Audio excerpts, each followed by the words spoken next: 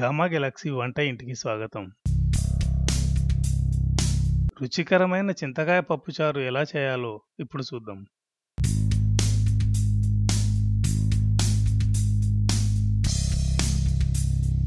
దీనికి ప్రధానంగా కావలసినవి పచ్చి చింతకాయలు కందిపప్పు లేదా పెసరపప్పు.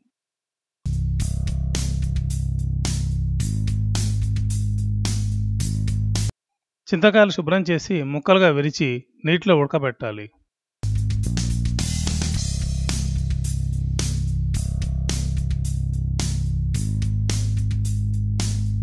చల్లారిన తర్వాత బాగా నలిచి ఫిల్టర్ చేసి రసం తీసి ఉంచాలి.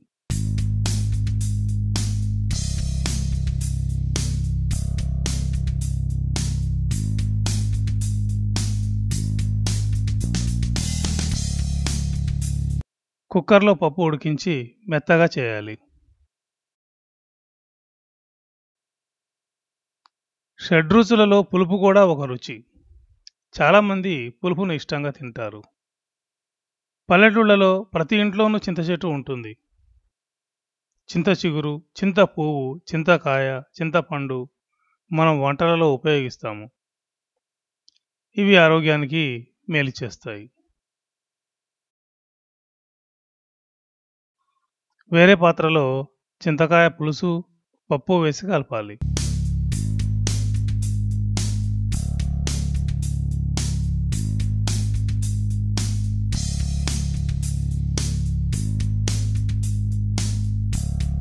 దాంట్లో పచ్చిమిర్చి క్యాప్సికం ఉల్లి ముక్కలు ఉల్లి ఆకు కొత్తిమీర వేయాలి.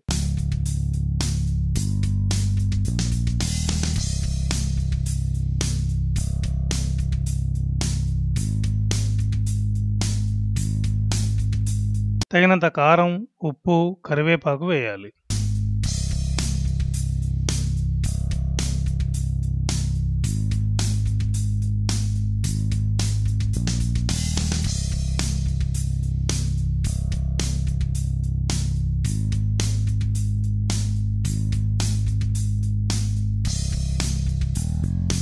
చింతకాయ పులుపును బట్టి పప్పుచారు చిక్కదనాన్ని బట్టి అవసరమైన నీళ్ళు పోసుకోవచ్చు.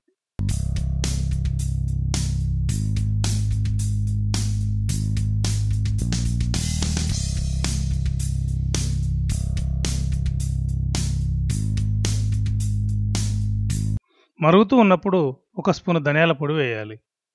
కొద్దిగా మెంతి పొడి వేయాలి.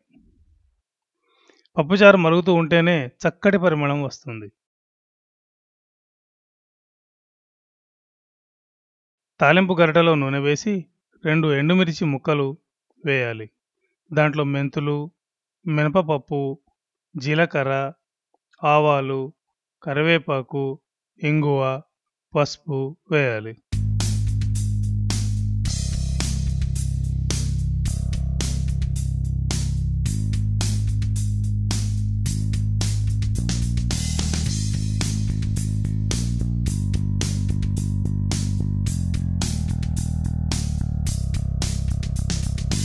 ఆ తాలింపును పప్పుచారులో కలపాలి.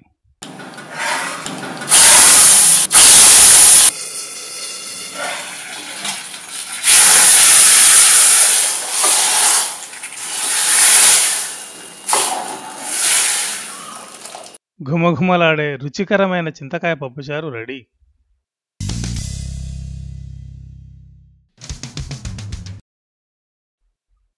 ఈ వీడియో మీకు నచ్చినట్లయితే షేర్ చేయండి. రెగ్యులర్ అప్డేట్స్ కోసం సబ్స్క్రైబ్ చేయండి. Thank you